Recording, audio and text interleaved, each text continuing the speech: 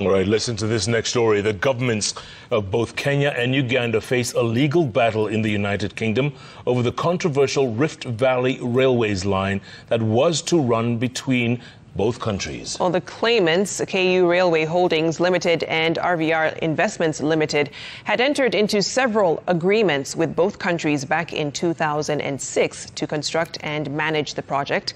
The hearing that begins tomorrow at the International Arbitration Centre in London will determine whether both Kenya and Uganda will pay the claimants nearly 289 billion Kenya shillings in compensation fees. What started as a mutual agreement between governments and private sector players to construct and manage the Rift Valley Railways line in 2006 turned into an arbitration case to be heard at the International Arbitration Centre in London starting Monday, March 4th, 2024. The promising project would have seen a Rift Valley Railways line run between Kenya and Uganda for freight and passenger transportation. However, after a series of delays to secure funding for the project by one of the implementing partners, RVR Investments Limited, the Kenya Railways Corporation was forced to pull the plug in 2017.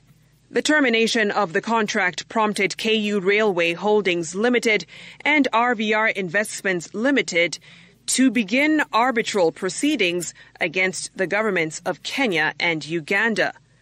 The claimants essentially want both governments held responsible for breaching several agreements and to be compensated $2.01 billion or nearly 300 billion shillings. In its defense and counterclaims, the government of Kenya said in part the tribunal tasked with hearing the arbitral proceedings does not have jurisdiction over the matter. The government also accused the claimants of acting corruptly and engaging in unlawful practices in the performance of the concession and amended interface agreements, which governed how the project was to be run.